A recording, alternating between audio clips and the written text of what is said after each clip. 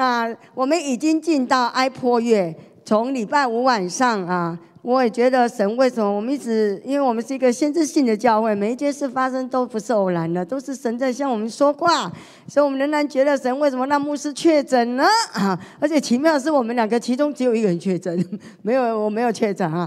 哦，牧师就说了，他每天这确诊的每一天都在上，跟着我们所有线上晨祷各样的聚会都是线上线上，他终于明白了在线上的弟兄姊妹的感觉。他终于发现，我们的聚会都只针对实体，都没有顾到线上的弟兄姊妹。现在线上弟兄姊妹，牧师非常了解你啊。我们有这样的镜头，有时候我们喊得很大声、很激烈，在线上很吵啊，这都没有办法啊。牧师深深的明白，我们我们要做媒体，根本根本让我们弟兄姊妹很想转台的哈，因为因为我们的媒体的。哦，真的真的没有办法，你们直到现在还在线上跟从，真的是神有伟大的生命在你们身上，你命非常的好，所以神可能让牧师监长还是在线上，所以他可以再看一次，然后了解哦。我觉得神真的非常的奇妙，那牧师的身体都很轻很轻，几乎几乎没有什么，就是。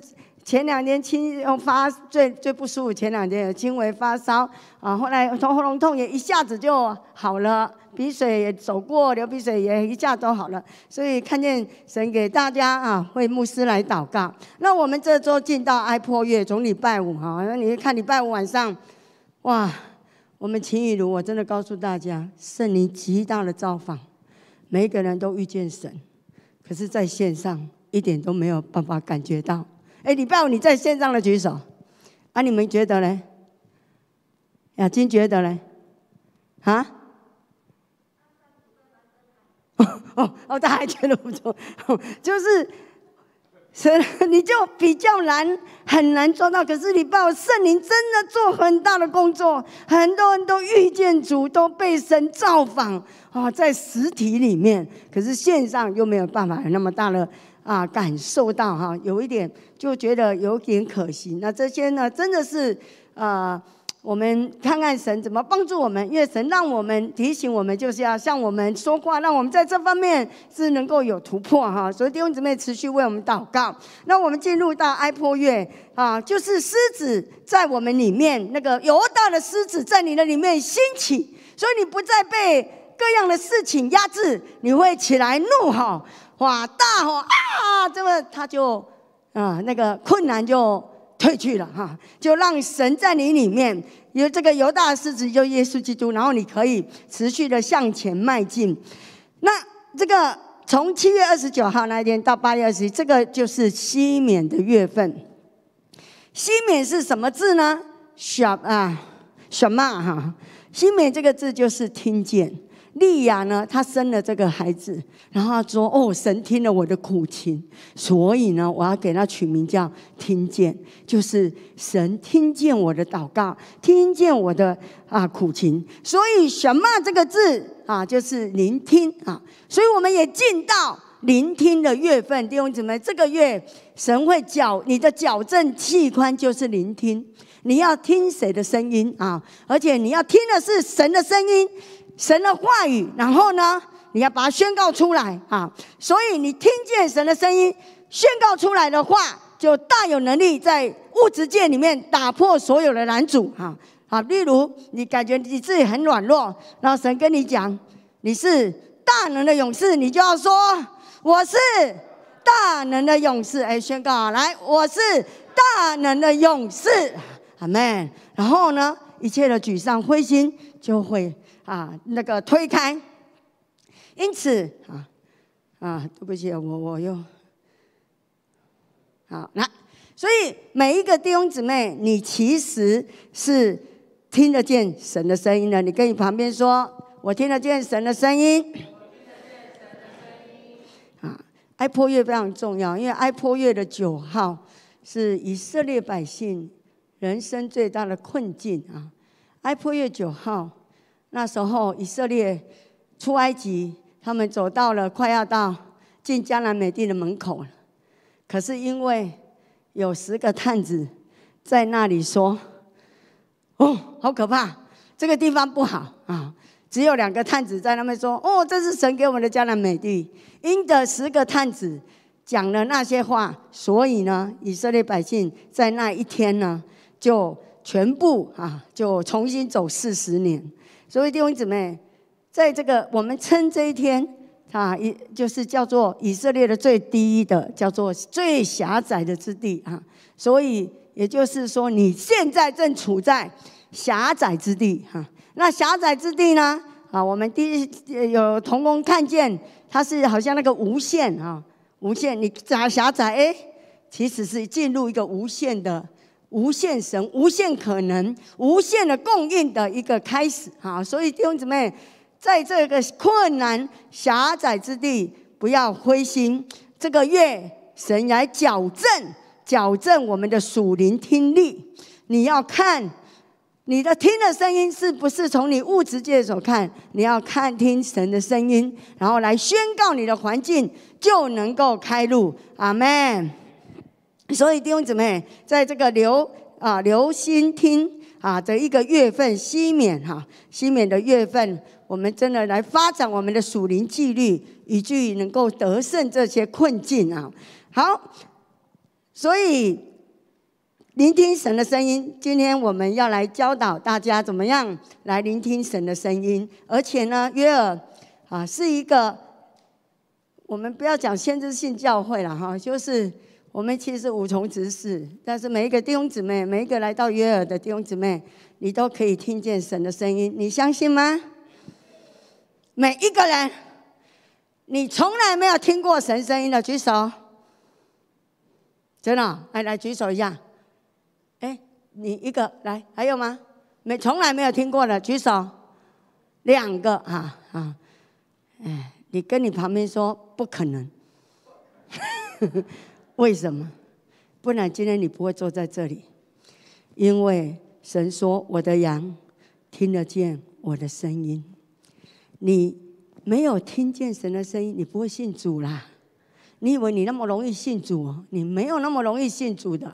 我们是因为心里面被一个声音带着我们，可是你不知道，你跟我以前一样，你不知道那是神在说话的声音啊！因为神说：“我的羊听我的声音。”啊！但是我们要来学习怎么样来聆听，因为你其实每天很多人讲话，可是聆听神，神说话常常不是两点起哦，让你立刻跟他洗哦，他不是这样哈。他是在你心里面说话，所以你不知道那是神在说话，你以为是你自己乱想啊，心里自言自语，不是的啊。所以呢，我们要学习怎么样聆听神的声音。所以呢，听神的声音不是一个超自然，不是一个特别的事件，那是神的儿女固有的特质。你跟旁边说，我一定可以听见神的声音。好，我们问一下哈，你觉得信主的人跟不信主的人最大的差别在哪里？啊？最大的差别在哪里？有没有神哦？他们也有神啊。礼拜天他们去庙，我们去教会而已啊。差别在哪里？你们觉得？啊？好，答案告诉你。就是信主的人，他跟耶稣基督有一对一的关系；不信主的人跟耶稣没有任何关系。那你怎么叫做一对一的关系啊？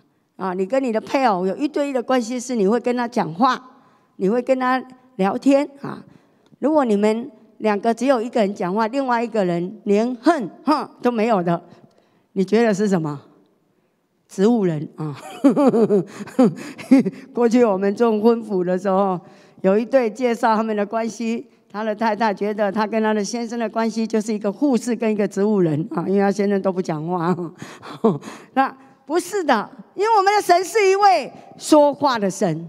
你信主的人，最跟不信主的人最大的差别是，你跟耶稣有有关系，而且有一对一。什么叫一个人？你会跟他讲话啊？那有没有可能你一直讲，你一直讲，你从来没有听他讲？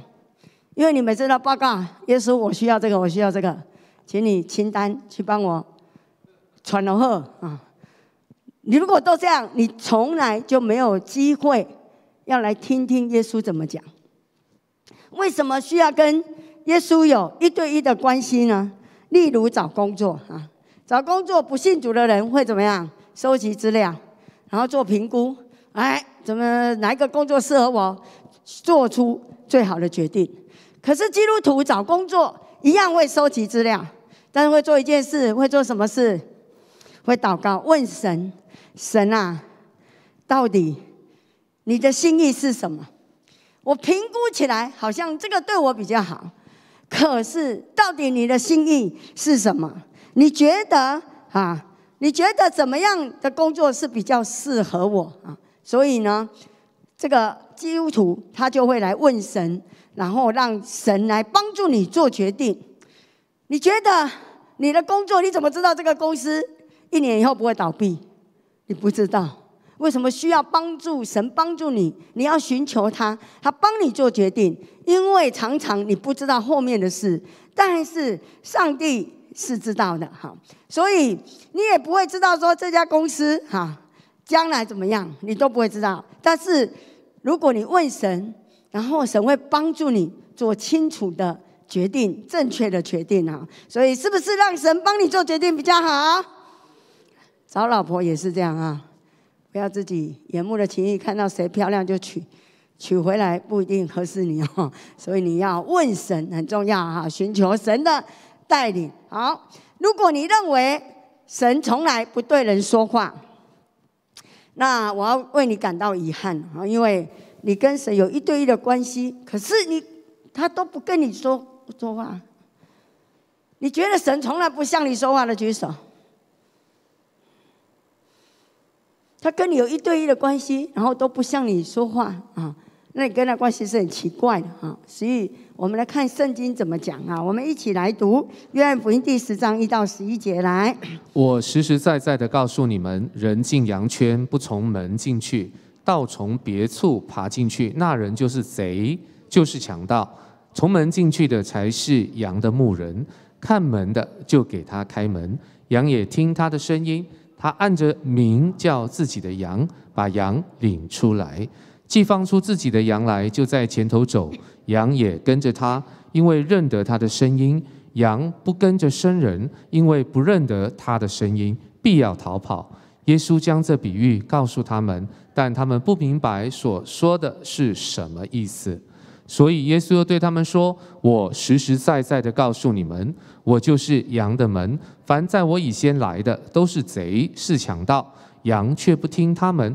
我就是门。凡从我进来的，必然得救，并且出入得草吃。盗贼来，无非要偷窃、杀害、毁坏。我来了，是要叫羊得生命，并且得的更丰盛。我是好牧人。”好牧人为羊舍命。好，这里耶稣说他是好牧人，好牧人为羊舍命。那如果耶稣说他是好牧人，那到撒旦就是谁？贼 啊！耶稣说他是自他自己是好牧人，所以对比下来，撒旦就是那个贼嘛。哈，所以耶当耶稣说啊，我实在告诉你们啊。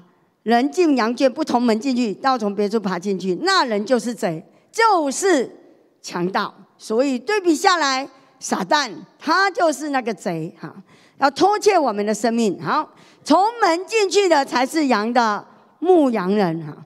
那开门的给他开门，羊也怎么样？来，再听讲一遍，羊也怎么样？听谁的声音？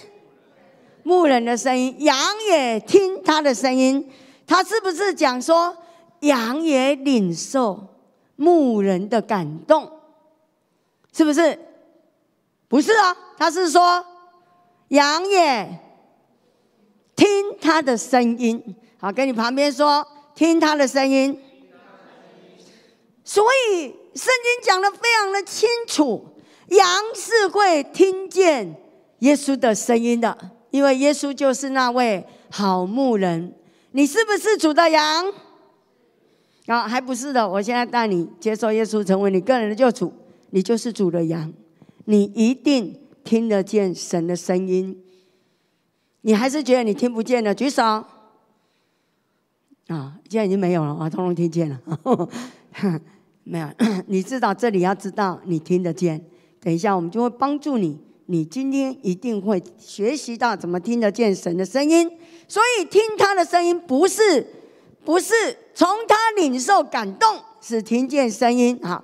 过去有一个错误的神学，我们读神学院的就说，因为害怕你领很多假先知嘛，哈，马上说哦，我听见什么？因为害怕。然后就认为神已经不再说话，圣经都完整了啊，神就不再说话了。认为神试下圣经以后呢，就决定够了，你们就读圣经就知道你人生应该做的事了啊。上帝退场，上帝不再说话，这是错误的神学。跟你旁边说错误的神学。所以你不要被这个影响啊！你被这个影响，你会失去很多福分啊！所以圣经讲得很清楚啊啊！我们一定要从圣经，圣经说你要说羊也听他的声音，而且他按着按着你的名叫你。兄姊妹，你今天信主是因为耶稣按着你的名叫你进到羊圈。或者你进不来呢？很多人，你旁边的很多人传福音嘛，为什么你进得来？因为耶稣按着你的名叫你的时候，你听见他的声音了，你就莫名其妙就走进来了。这不是偶然，这是上帝特别的拣选啊！而且主用他的声音呼叫你，把你领进来啊！圣经说。因为羊跟着他，因为认得他的声音，你是认得耶稣的声音的。虽然你不知道他是谁，虽然你要信主之前你其实不知道，可是你会被牵引，就是好像需要来，好像好像就需要来。特别现在这个时代，以前哦，我们人家传福音给我们要传好久，要铺桥铺好久。现在老实说，幸福小组还有一点久。现在传福音真的很快了，很快了，不用八周了，马上讲一讲啊！那那我可以受洗吗？马上，因为神在幕后的世代已经非常快速，要让得救的人数满足哈啊！所以耶稣说：“我是好牧人，好牧人喂养生命。”所以好牧人就是谁？耶稣哈！所以是耶稣哦。是耶稣说的啊！好，我们继续来看。好，犹太人圣经，其实这段的圣经后面啊，因为我只读到十一节，后面的圣经讲到犹太人跟外邦人要合为一群啊。约翰福音十章十六节说，耶稣说：“我另外有羊，不是这圈里的，不是这圈，就是犹太人的圈里面。”就表示说，啊，这里指的是另外有羊是。外邦人哈，而且他是对犹太人说的，说你们要知道，我另外有羊不在这个圈，那个另外的羊是谁？谁是外邦人？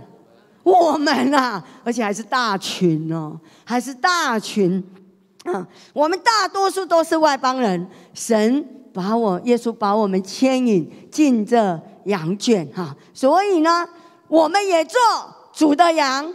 所以你现在也是主的羊，你会不会听他的声音？会，会。你说啊，我们外邦人啊，我们全部都外邦人哦，我们都是不是犹太人？然后我们一起宣告：我是主的羊，我要听耶稣的声音。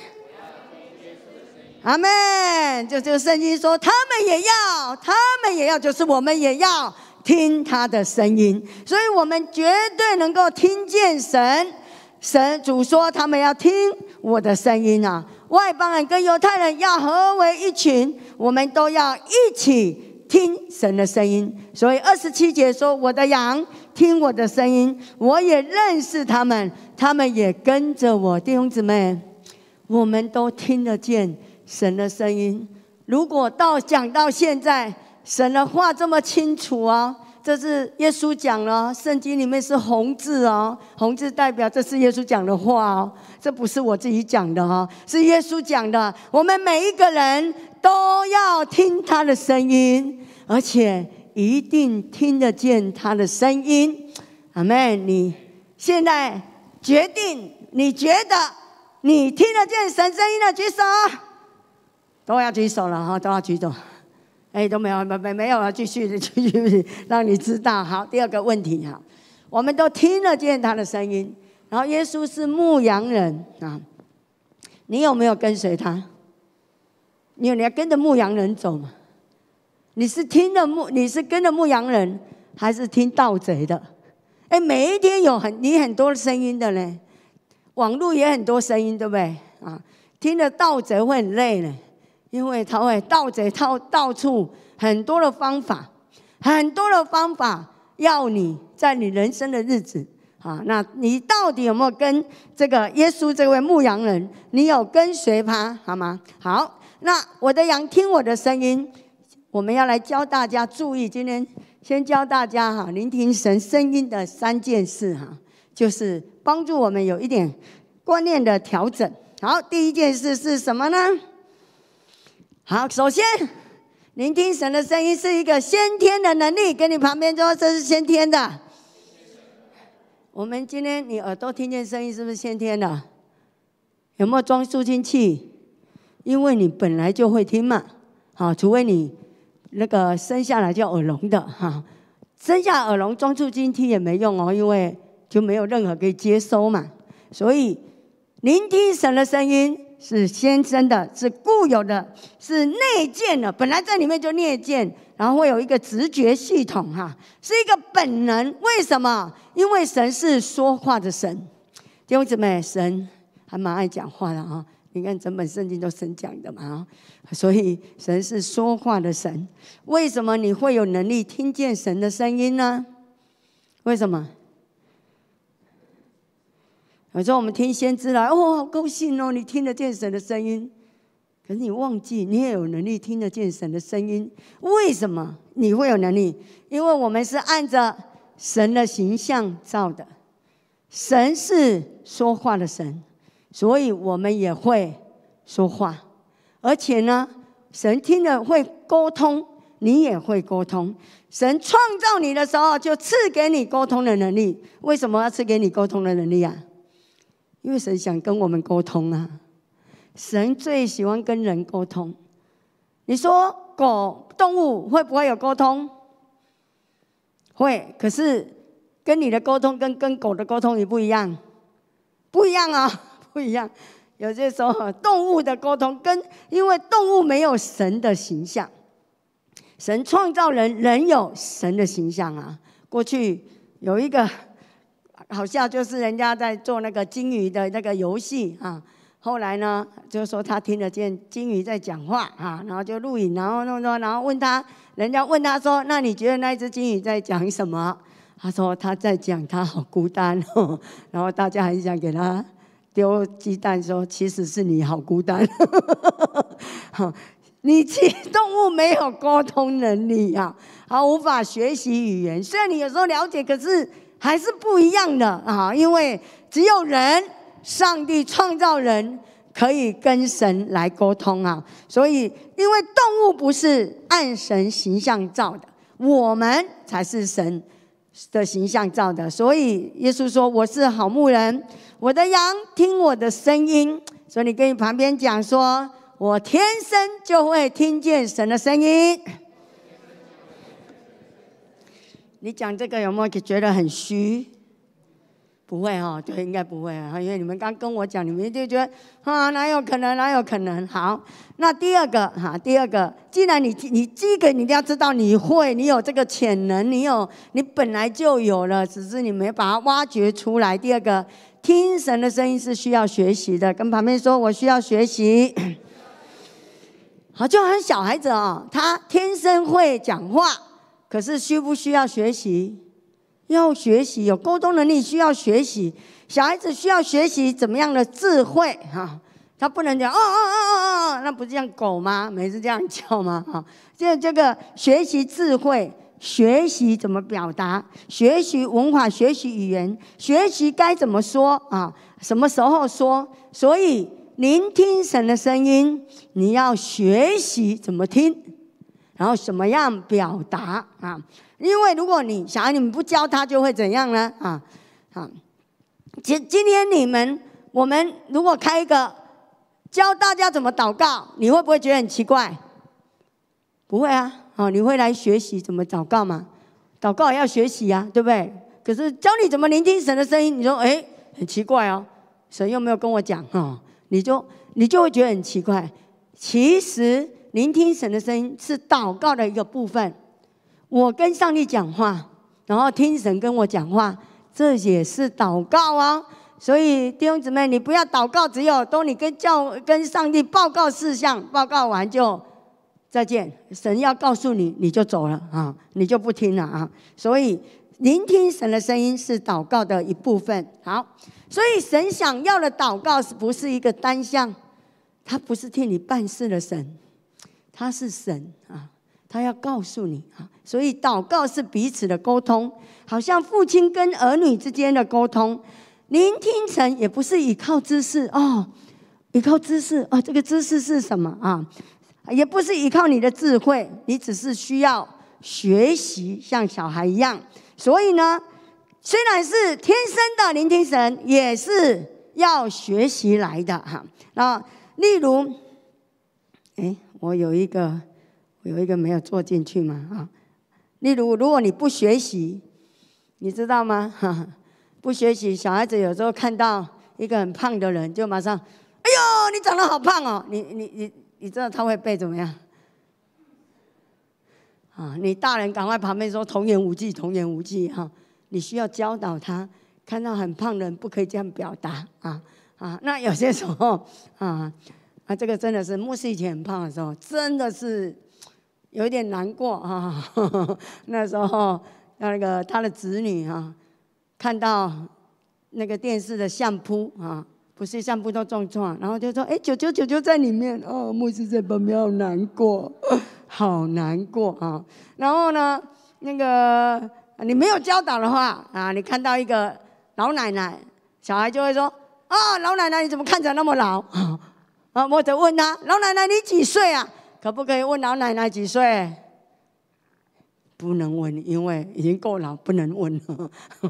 啊，你只能说你永远十八岁，永远二十八岁啊。他说啊，这样不真实啊，是是不是要学习？啊？我们很多时候是要学习的啊，这也就是学习。好，听见 是我们要看大家，我们首先先了解啊。上次以前我讲到讲过啊，有四种听见神的声音。为什么你觉得你听不见？因为你不知道。你不知道神讲话有这四种哈，第一种的方式啊，因为我以前也不知道，我以前就觉得我不会听，我很喜欢先知来跟我们讲话啊，我不知道我听得见啊，为什么呢？因为我以我都没有听见声音啊，啊，他们都会看画面呢，啊，他们都说他听见什么，我都听不见呢，啊，我也看不到画面啊，所以我都觉得我听不见神的声音。你可能跟我一样。然后这里讲到说，第一种人叫做 no no 了，就是他听不见、看不见，可是他就是知道。哎，他一讲的时候，我就说，对我属于这个。我其实听不见、看不见，可是我就是知道，我就是知道呢。里面就有一个直觉，可是连那个知道，我也不觉得我是知道，因为我觉得，因为那个是自然天生的嘛，所以你不会觉得你知道。很多时候，哎，我就是知道哈。好，你属于这种的，跟我一样的，你会不会手？哇，好几个，好几个啊！你就是知道哈。第二种就是你会看见意象，你会看到画面啊，就是祷告之后就会出现图画哈，突变漫画。有一些人是这样。以前我在二十四小时祷告中心祷告的时候，都一个祷告宣教士，每次看我进来跪他们祷告，他就会来说：“哦，师母，我看到什么画面，什么画面。”他一讲讲二十分钟哎，他可以看二十分钟的画面啊，好像漫画一直讲哦，我看到什么画面，什么画面，我说真的吗？我怎么都看不见啊？因为这样的人他是什么？他是看见的人啊，他是一个先见者哈。然后你属于会看到画面的举手。哇，我们当中也很多呢哦。哎，你每一样都有哎哦。哦，第二个啊，第三个来，那你是先知哦。好，第三个人会听见，这个听见就是心里会听见声音哦，不是耳朵听见声音，是心里会听见声音。你其实知道你有听见，你会听见哎，刚刚神说，你心里面哦有一些字出来了哦，你先知道你听见神说话啊，你会听见神说话，从心里面对你说话的举手。哎，好多个，好多个，好多个哇！哇，我们听见者非常多。好，第四种就是感受哈。你看，我们感受，比如说莫名其妙就能流泪，啊，就甚至有的突然就那个情绪来，就趴下来感受到神的情绪。那之前你就会觉得这叫做怪怪带导者啊，因为因为他的。他的表达跟我们过去的人不太一样啊，可是其实哦，后来才知道，这样人是他很容易感受到神的情绪，然后他会表达出来啊。这四种啊，第四种你是第四种的举手。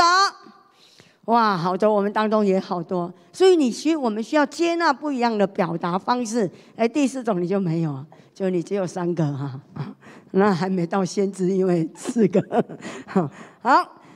这四个，后来我我我这个是我去背手的时候，那个一个先知团队人他们讲了讲了，哦，我才知道原来我的听见神的声音的方式就是邻里直觉的知道。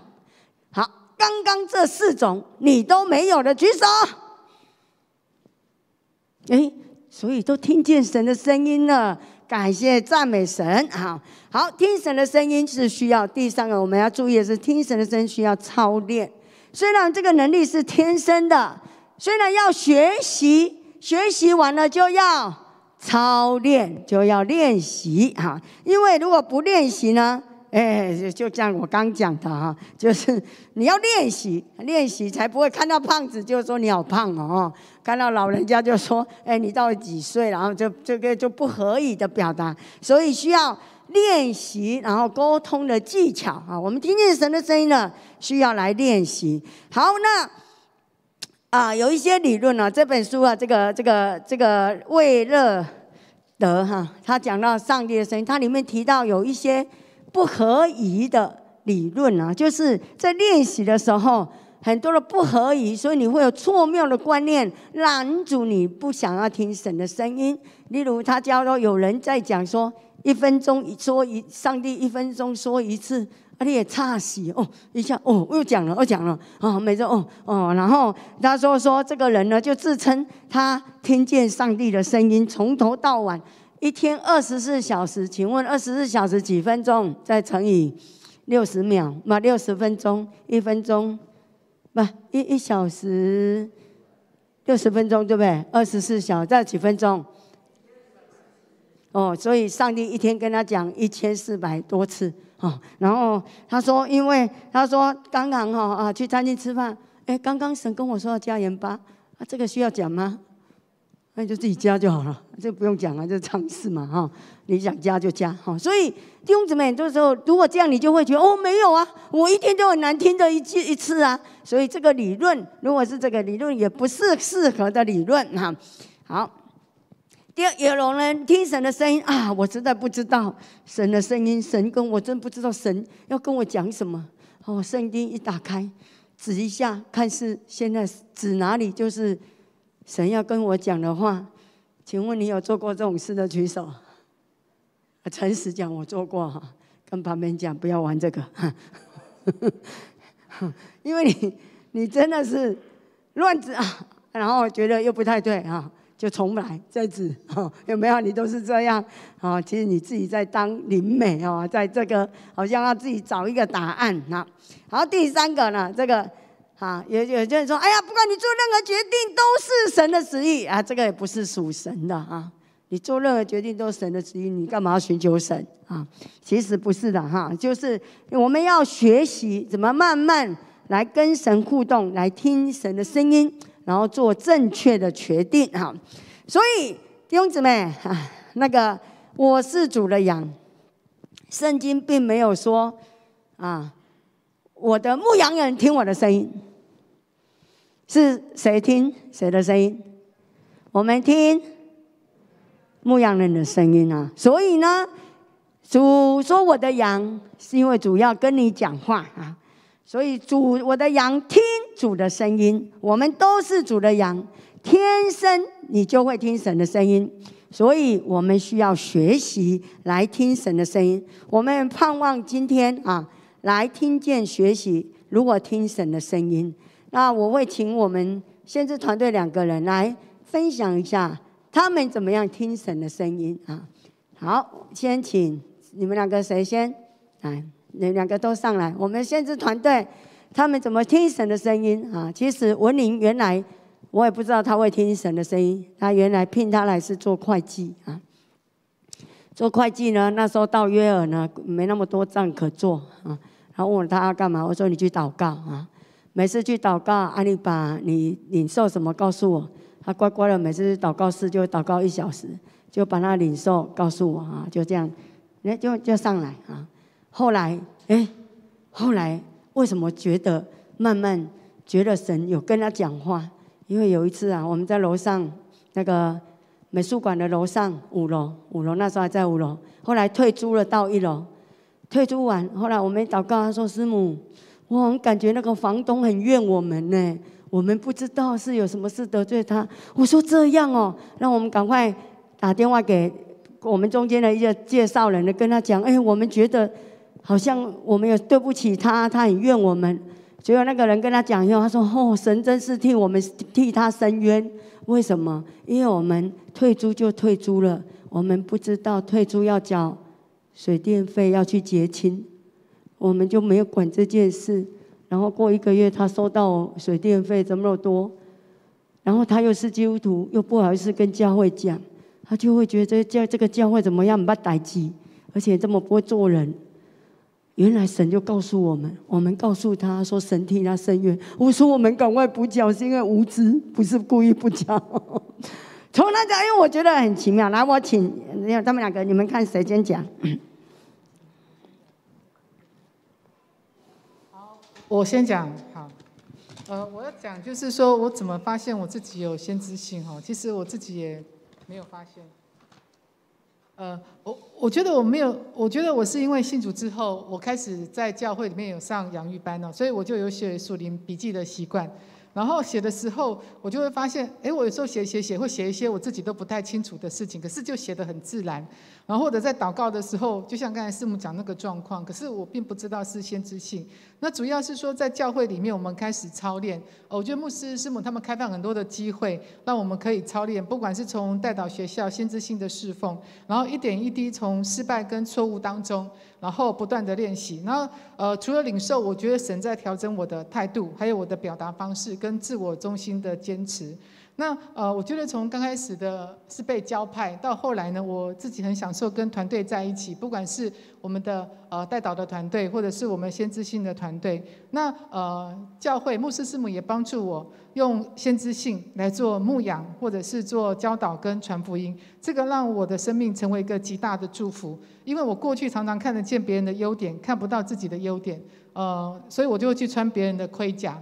然后呢，后来呢，神就慢慢的让我看见，原来我是有优点的。那我就学习，呃，接纳自己，欣赏自己，然后不退缩，然后也穿上神给我的盔甲。那我那时候在读经的时候，我领受一个经文，就是加拉太书三章二十九节啊。他这里讲到说，我们既属乎基督，就是亚伯拉罕的后裔。然后呢，就照着应许承受产业了。我看到这个亚伯拉罕的后裔呢，我就觉得，哎，我突然就通了。我就觉得我是亚伯拉罕的后裔，亚伯拉罕是上帝的朋友，所以我也是上帝的朋友。那如果是朋友，对我来讲就很容易，就是像朋友这样子可以对话。所以我就慢慢发现，我跟上帝可以对话。好，那我要分享的再来就是，再来就是呃，先知性对我生命的影响。呃，我开始服侍之后，我要讲一下，我是二零二零年四月的时候。呃，我四月的时候呢，发现我有甲亢，啊，那个时候我的生命好像进到一个狭窄之地，我觉得我要崩溃了，因为我服侍神，然后也做各样的事情，然后我感觉我很努力，可是怎么会得到甲状腺亢进？我就安静下来，神只跟我讲一件事情，神跟我讲说：“孩子，你在服侍谁？你在服侍你生命中的自卑跟恐惧，还是你选择要来服侍我？”我没有说话，因为我不知道神为什么会这样跟我讲。我觉得这对我是一个很大的挑战。后来呢，我就安静下来，我就问我自己：我到底在服侍谁？因为我真的不知道。神就让我想起，我是因为呃鬼发作信主的，就让我想起他对我的爱，然后就让我想起为什么我想我离开职场，然后进到教会，想要全职来服侍。我那个时候只跟神讲一件事，就是说：神啊，你既然拯救了我，我的一生就是你的。所以我就跟神做个回应说。主要不管我这一生如何，我就是单单的来服侍你，因为是你救了我，我的一生就是你的。所以我觉得在这个过程当中，神就不断的兼顾我，在我生命中的狭窄之地。然后二零二零年十二月的时候，我爸爸回天家了，他是在睡梦中回天家的。这件事呢，也造成我很大的惊吓跟恐惧，因为我不知道为什么会突然发生这样的事情，所以我就来到神的面前。神跟我讲，他就跟我讲说。孩子，因为我爸爸信主了。我爸爸七十九岁的时候，因为在生病的患难中，后来他信主了。然后他是神又给了他五年的寿数，所以他到八十四岁的时候，在睡梦中离开的。然后我其实没有办法面对失去我的爸爸。虽然我离开台北十一年了，但是我没有办法面对爸爸这样突然走掉。后来神就跟我讲说：“孩子，你知道吗？你爸爸是一个艺人。虽然在你妈妈的眼中，他在情感。”他的情感背叛了你的妈妈，甚至你们感觉你的爸爸呢对这个家没有尽责、没有负责任。但是他信主之后，他就是一个艺人，所以我让他在睡梦中安安稳稳的走了，因为他在我的眼中是一个艺人。哦，所以我就非常感动。当神跟我讲，原来在神的眼中，我爸爸是一个艺人，他涂抹掉我爸爸所有过去他人生中一切的错误或者是一切的过犯。在睡梦中接走了我的爸爸，所以我就跟我妈妈分享这个部分。我妈妈听我讲完之后，她跟我讲说，她也想要信耶稣。我就看见神一次一次的把我从狭窄之地带出来。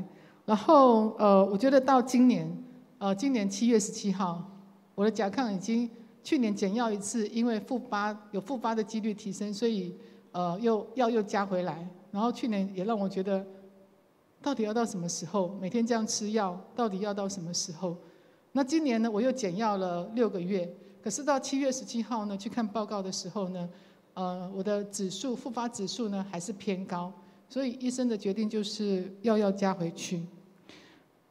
我听了之后，我其实一路哭着想要走回去，我就跟我先生说：“你抱抱我好不好？”因为我觉得我快崩溃了，我不知道我吃药要到什么时候。后来我就来到神的面前，我就问神说：“神，那我现在该怎么办？”神就跟我讲了这两句话。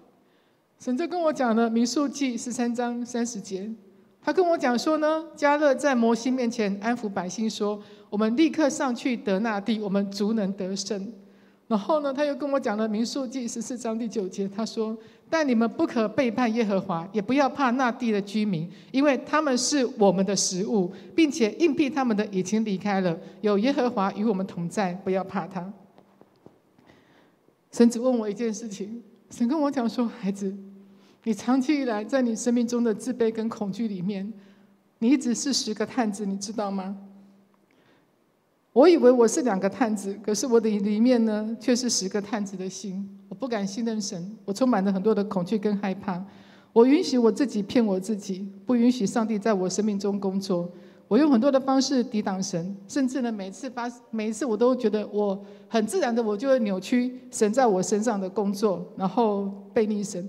突然这些东西一下子全都浮出来了。我就求神赦免我。我说神啊，我真的不认识我自己，我真的不知道我自己是谁，我不知道我这么抵挡你，我不知道我这么抵挡牧师师母，还有我们的童工。每次大家给我机会的时候，我都觉得大家是要看着我出丑，或者是呢，大家就是让我一个人在那里。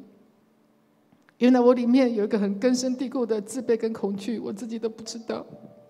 然后我看所有的事情呢，都是伟人，我自己是蚱蜢，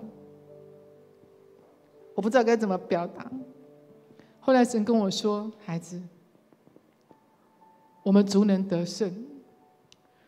我们就是神跟我在一起。他跟我讲说：‘孩子，我们足能得胜。’所以就从我觉得神就帮助我从十个探子进到两个探子。我觉得感谢赞美神。好，来淑珍。”我要我要分享的是，我我我是那个最不可能听见神的声音，然后最不可能看见画面的人，因为我的法律训法律人训练大概三十几年了，所以我我们来说好了，左脑训练的很好，哎，左脑训练的很好，右脑好像停止停止作用了，就是就是我我觉得我是不可能，但是来到来到约尔之后，我感感觉好像右脑复活了这样子，就开始慢慢的慢慢的被。好像被教导说可以，他是可以的，可以。然后我就觉得慢慢的，右脑好像开始那个枯，好像那枯树枝哦开始发芽出来这样，开始复活了这样。然后其实另外一个就是，就是这个是我自己在在这个过程里面，我看看见神的恢复的工作，因为我我真的是不可能看见听见的。然后后来在就是教会有很多的操练的，就是装备课程哈，就是先知性的课程。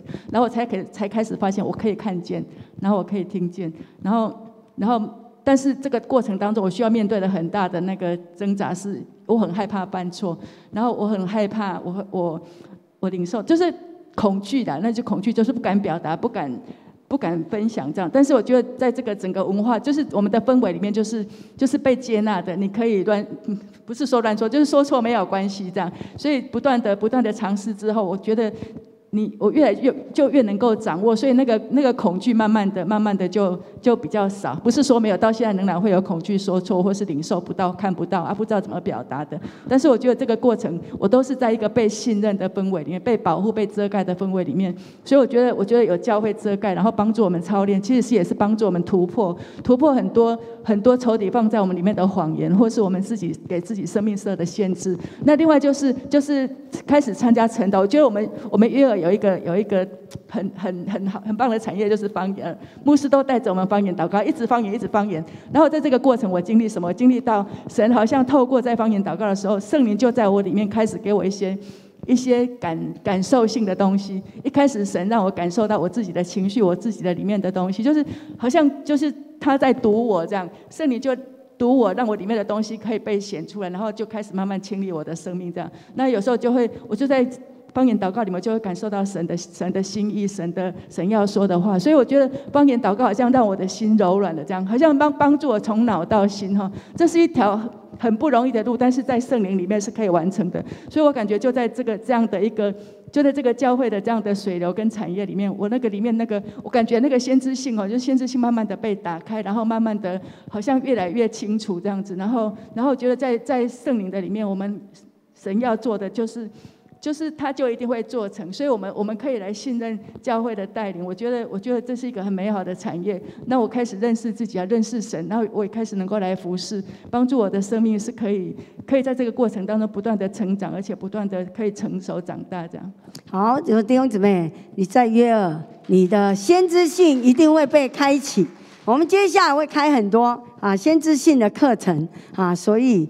啊，弟兄姊妹啊，你一定要跟得上啊！跟着来上课的时候，我们会帮助你开启神放在你里面，你天生就听得见神的声音，然后帮助你学习，然后帮助你操练能够成熟。那目的是什么？来帮我放到我的 PPT 的里面了。目的就是我们刚刚所讲的哈，要来使耶稣说我们啊，他来就是要叫我们得生命。并且得的更丰盛啊！这里啊，哎哎，我的圣经到哪里了啊？好，没关系，我说完。那我们为什么教会也做医治释放啊？哎，为什么我的圣经不见了？那个就刚刚的约那约翰福音第十章一到十一节那里面的就可以了啊。大概第十节，盗贼来无非偷窃、杀害、毁坏。耶稣说啊。耶稣说：“我来要叫你们得生命，并且得的更丰盛。为什么我们信耶稣了？可是我们生命里面还是没有办法丰盛，因为被盗贼偷去了。所以我们也发展。”医治释放，要夺回你所失去的丰盛，把一些盗贼在你里面破坏的东西，把它弄出去啊！所以，我们啊，苏瓦牧师在跟我们分享，在约尔的我们发展的啊医治的施工。好，感谢神，因为一约尔所发展的医治施工，我的生命就得恢复了。因为原本呢，我是呢父母亲呢还没有。呃，结婚之前就怀孕生下的孩子，那他们在这个婚姻当中就被定罪，定罪就带来我生命里面的恐高跟羞愧，所以在五岁的时候，我五岁的时候他们就离婚了。好，那你们看到这个图片哈，这是我的照片，这是我唯一成长的两张照片。那是国小一年级的我，那我不自觉就会皱眉啊。那我的爸爸很黑嘛，然后他又很那时候很穷，所以我的外婆都说我都是。O A 因呐，就是黑人的小孩，然后。他就会说这种种哈不要留下来给他们就好了。那然而呢，我另外一个阿妈呢，祖母呢，他就把因为耶稣的爱就把我收留下来，所以我也因为这样子，从五岁我进到教会里面认识耶稣，所以父母离弃的耶和华就收留。所以原本呢，呃，在这个境况底下，我是一个没有感觉的人。那为了生存而生存，所以我有一套人生哲学，就是反正我不要吵，我只要把。事情做好，我只要做一个听话的孩子就好。所以当我进到约尔之后呢，跟随着牧师师母服侍，师母为了要打破我这个生命的牢笼，有一次他就说了一句话来激我，他就说：“啊，淑婉，你是一个死人呐。”其实说的很好，我那句话我我醒过来，因为死人就是什么？死人就是没有感觉，死人就是你们怎么对我，我怎么样都没有关系，你们只要不要遗弃我就好了。那我这样的情况，虽然我后来成为一个传道人，那我其实我很努力，从早到晚。可是你们知道吗？我的结局就是教会关门了。所以我的结论是，努力表现的结局仍然无路可走。所以一直到二零零九年，牧师师母呢就把我跟我的先生带回到约尔，重新来养育我们，然后带着我们走一条儿子回家的路，也开启了一段医治的旅程。那牧师师母呢，在生活上，生活上是我们，我们就领受了医治。怎么说呢？他们很照顾我们家，然后呃，也教我们怎么样养育孩子，然后。教我们样怎么样过淳朴的生活，而且还帮助我们用最便宜的价格买到了房子，这是我们都想不到的。那在服饰上呢，跟着牧师师母跟童工们一起生活的时候，我们就跟着他们跟进跟出，然后学习怎么爱弟兄姐妹，怎么样服侍大家，然后怎么样在教会的整个系统当中，呃，那时候很好玩的，我们装备课是很认真的，每一个人都不敢迟到，因为你迟到，你就会影响其他的。的人哦，我就要跑楼梯上下哈。那可是师母还是会预备东西给我们大家吃，所以那是一个很温暖的感受。我们一起在教会里面，我的心在这个过程当中渐渐的也被医治。特别呢，我们有呃。五点半的早祷，然后有晚祷啦，然后有晴雨炉的敬拜，有二十一天、四十天跟一百天的祷告，还有方言祷告，还有敬拜。在这个过程，牧师师母就带着我们怎么样来遇见神，听神的声音，寻求神的心意，然后读神的话。那在这个过程呢，我就那因为听神的声音，就打破了我心中对于很多未知会发生什么事的恐惧。那所以呢？嗯，在月儿的侍奉里面，我的心也被医治。那特别有一个侍奉，就叫做医治释放的侍奉。这个师母就教我们怎么做医治哈。师母的医治是非常的活泼，而且有创意。是一个跟着圣灵走的医治，而且他会开课，然后示范，然后教我们，然后带着我们去医治短宣。所以跟着师母做医治很有趣，会发现有很多的方法，然后看到每个人很多不同的变化。所以我都很认真，我就抄着笔记，然后观察每一个关键点是什么。然后呢，还会看看师母是用什么样的方式来回应。那我也会学习核对不同的事件会带给当事人什么样的。感觉，所以在听别人分享的时候，其实对方的过程也会吸出你自己的共鸣。那这也帮助我自己走进我的心，开始了解我的感受，然后对于别人也能够感同身受。这种情绪的释放的加增呢，就会让我到神面前的敬拜。呃，可以跟神有更亲密的对话，还有一些看见。所以医治释放呢，对我来讲，我感受到它就是一个医治受伤的记忆。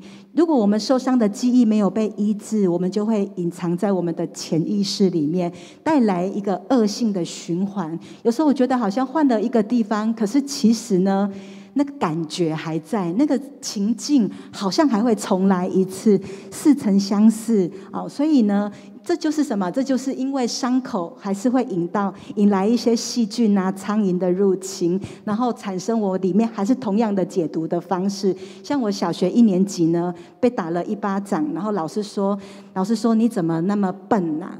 所以你怎么那么笨，就影响到我长大，我都要比别人付出多一倍的努力，我才放心，我才我才呃，我因为我就觉得我是一个很笨的人，我要多一点努力，这样子才可以掩饰我里面因为很笨的这种羞耻感，然后证明说其实我还是不错的，有价值的。可是我里面又会有一种什么焦虑感，因为那种焦虑是你这一次好了，那下一次呢怎么办呢？所以我就会不断的折磨我自己。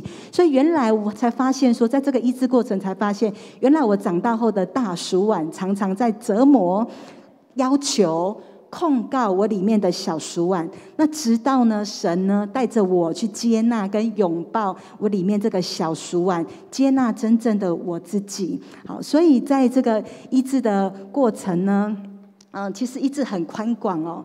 他好像在剥洋葱一样，我这个人从没有感觉到有感觉恢复了，然后呢，和人的关系也有也有也有开始有感觉。可是我最重要的是，我发现我自己可以看到我的生命的状况跟问题，我可以开始起来。不要再自怜，因为我以前是一个很自怜的人。我开始学习起来要为自己负责任，然后不要怪罪别人。然后我也很享受在陪伴别人呢，在这个医治过程陪伴别人多走一里路，让人的生命去感受到他是被爱的，他是被了解的，他是可以神可以拯救他，而且可以呢为他关上仇敌的门。所以呢，在这个。这个过程当中呢，我发现只要心呢向神打开了，神都可以对我们说话，在我们身上做很奇妙的工作。所以这是我在医治里面领受了约尔的这一份美好的产业。所以弟兄姊妹，我们的先知性跟医治是连结，你没有先知性，你无法做医治释放。所以弟兄姊妹，这是神给约尔的产业。所瓦牧师在这里，你啊。认识他人就看见他不断的健康。其实神非常爱约尔，我觉得不是我们有什么，是神命定，我们就是一个无从直视的教会，要来祝福城市。那李学忠牧师，因为我们的周年庆是一整个月，那李学忠牧师特别在我们最后一个礼拜，他为我们讲了一段的预言，祝福约尔。啊，短短啊，那我觉得就是我们神给约的命定。等一下，我们就来祷告，来看李求同牧师的这一篇啊，这个短短的预言。约尔生日快乐，家人们！当我在为教会祷告的时候，第一个我感觉到神在教会里面接下来要做一件新事。我。当我为教会祷告，我就想到约翰福音第五章，我觉得“必是大慈”这个字。那我感觉到这个“必是大慈”在里面讲到，他就是有怜悯，他要成为怜悯之家，要成为恩典之家。我感觉到神在接下来带领着教会，我觉得进入到一个医治的里面。那个医治是从怜悯而来，以至于我看到开始有很多的神机骑士要发生在教会的里面。教会不但开始进入到一个新的旅程当中，这个。新的高模的里面，我感觉到这个医治这样的一个怜悯跟恩典，也要生发在同工群的里面。那特别，我鼓励每一个每一个家人，我觉得你开始要跳进去，在接下来的一年，神会在你们的生命当中，在每一个家人的生命当中，我觉得开始会带下一个医治，以至于进入到自由。第二个，我就看见神把教会带出去了。我看到牧师跟师母其实带着不同的团队，好像像。军教团队开始带出去了。我看见呢，有向着儿童发声的，有向着青年人发声的，有向着呢妇女发生的，甚至开始我看见教会有弟兄的一个一个主体。我觉得开始起来，我看到这。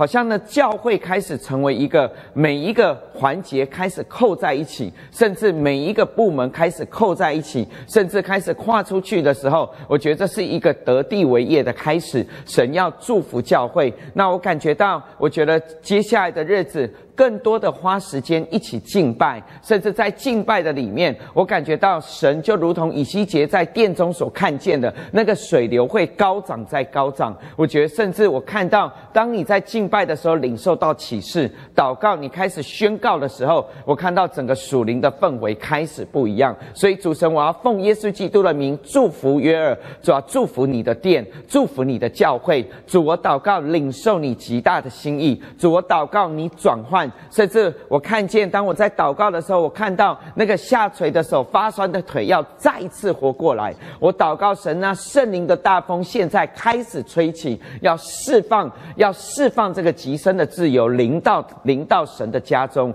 我主我的神，谢谢你。我也感觉到，我觉得神在接下来的一年，我觉得我看到神把教会带出去，甚至我看见呢，在职场里面的，我觉得当你听见的，我觉得在职场每一个。弟兄姐妹，我也要鼓励你预备好，这是神要差派你到你的工作里面开始独行其事的日子。我觉得，当你跨出去的时候，你将会看见神怎么样使用你，不在乎你的职位，只在乎你自己是不是认识你就是神所呼召的那一位天国大使。我主我的神，谢谢你，主啊，奉主的名来祝福教会。我觉得这是一个主啊主啊同台约柜的日子，也是一个主啊。当每一个人跨出去的时候，将看见是把何捆带回来的日子。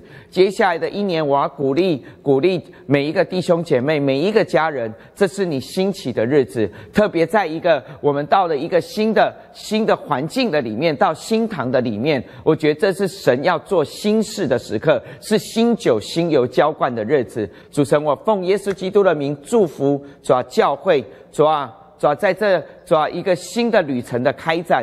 主要，接下来的一年，我要奉主的名宣告主这个新事发生，宣告如同以赛亚书四章所说的：“看呐，你要为约尔做一件新事，行一件新事。”主，谢谢你，主，孩子向你祷告，你的荣耀要充满在你的殿中。主，谢谢你，主，我祷告不但主要将人的心得救的人数天天加添，主奉主的名，我也祷告释放这合一的心意，临到你的教会。主赞美你，将荣耀归给你，奉耶稣的名祷告，阿门。弟兄姊妹，我们从位置站立起来。